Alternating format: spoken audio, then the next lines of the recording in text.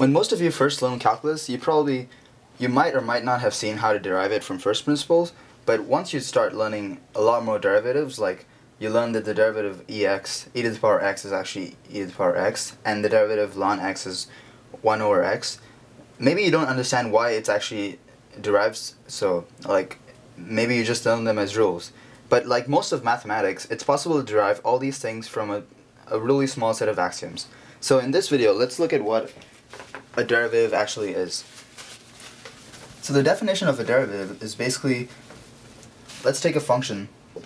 Let's say we have fx equals x squared, and we have a function like like this when you, okay, this should be at zero, but you know what I mean.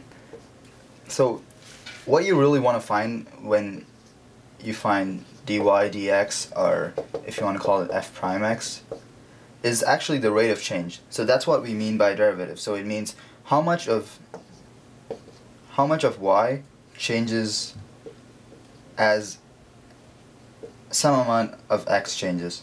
So if we wanted to write the like the actual definition of a derivative, it would be f prime x is equal to the change in x, uh, change in y's over the change in x. But that's not exactly what a derivative is because although that is the rate of change at some point, it is not the rate of change of the whole function.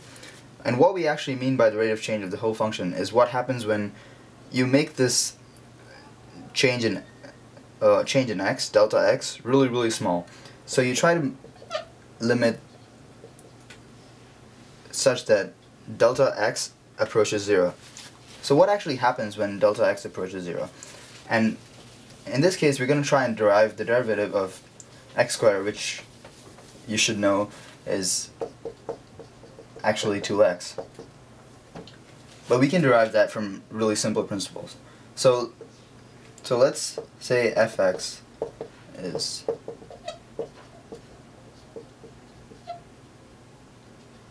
and it's some change in in fx or some change in x and what this actually means is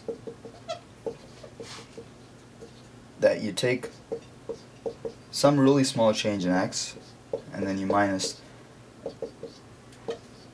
the, the initial value of x over delta x.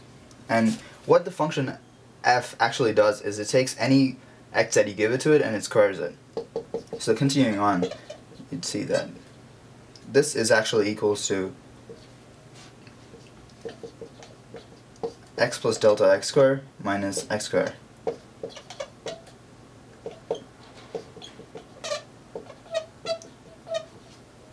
And further expanding this, it's actually x squared plus delta x squared plus 2x delta x minus x squared over delta x.